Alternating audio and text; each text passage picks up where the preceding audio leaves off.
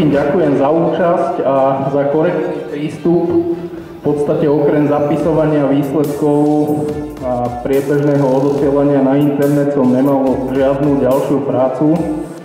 Takže fakt, boli ste super. Dúfam, že ste si všetci dobre zahrali a ideme odmeniť najlepších. Na treťom mieste skončila dvojica Tomáš Pajtl a Juraj Šošovička 11 bodov.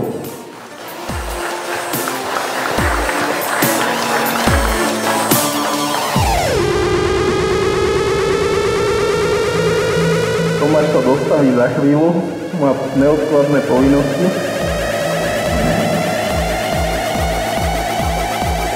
Druhé miesto David Varga, Dominik Chyba, 12 bodov.